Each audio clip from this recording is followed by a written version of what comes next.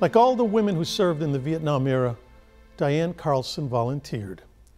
To tell her story from the grounds of Arlington National Cemetery at the Women in Military Service for America Memorial, please welcome award winning actress Kathy Baker. I didn't join the Army to be an Army nurse. I wanted to be an Army nurse in Vietnam. The day I left, my father, he wasn't exactly the most affectionate person. He gave me the biggest hug ever and said, I have four sons, and now I send my daughter off to war. They flew us nurses to Vietnam in skirts and cute little shoes. Then the doors opened, and you felt the oppressive heat and smelled the terrible stench. A soldier with a bandolier of bullets is shouting, Get down! Get your head down! You felt nothing but terror. I ended up in Pleiku, working the 71st Evacuation Hospital. It was pure chaos. We worked in helmets and flak jackets during incoming enemy fire. Patients on every table, blood everywhere you looked. The bodies came so fast, it was like they were on a conveyor belt. Then it was done, and we'd hose down the floors. We worked on young men whose chests were split open or whose faces were scarred beyond recognition, and they'd lost their will to live. My biggest fear was that one of my patients would die on my watch, and it would be my fault. Everything is based on trust in a war zone, and we nurses trusted each other. But we never talked about what we saw or did that day. We couldn't. For the troops, the sound of choppers meant salvation. For us, it meant only one thing more death. A nurse would often be the last person a soldier saw or touched or talked to before he died. I remember a young soldier wrapped nearly head to toe in bandages. His wounds were too severe. I knew he wouldn't make it through the night. Ma'am, he said, please stay. I don't want to die. Don't leave me. I won't, I said. I'm here with you. I held his hand as it grew colder and colder. He died a little after midnight. I still couldn't let go of his hand. I, I couldn't. I remember pulling the sheet over his face, and I knew that I would never forget that night at his side. In times like that, all you could do is pray for grace. I ran out of prayers in Pleiku.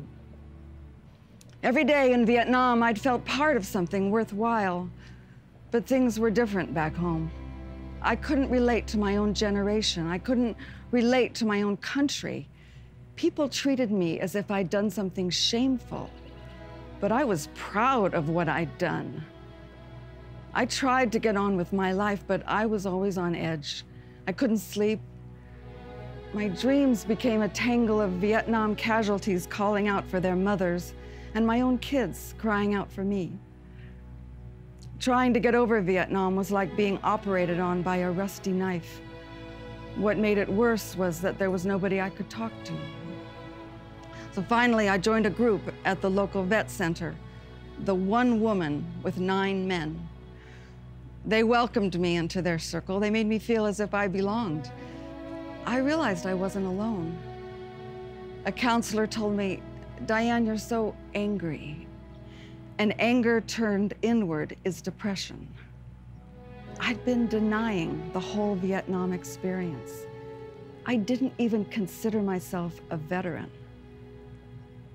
When I first saw the Vietnam Memorial Wall, it took my breath away.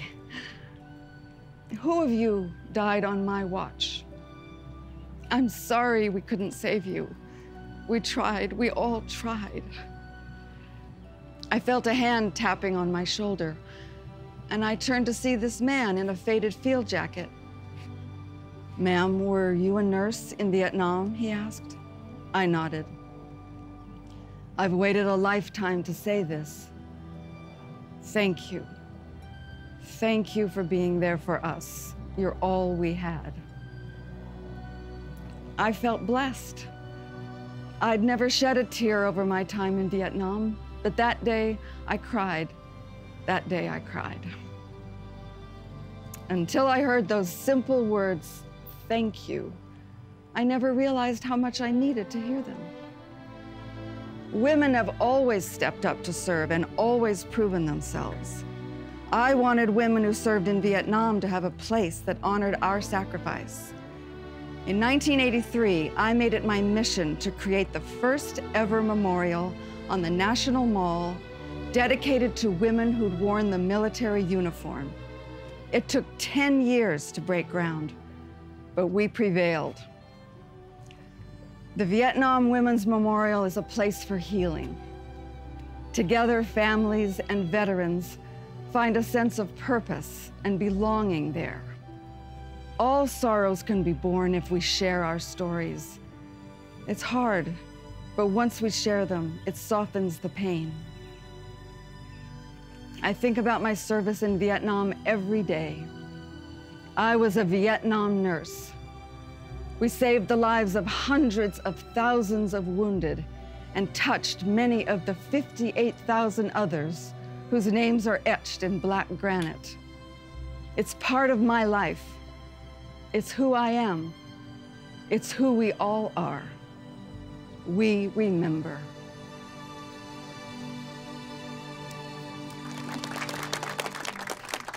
Can you stand? Can I?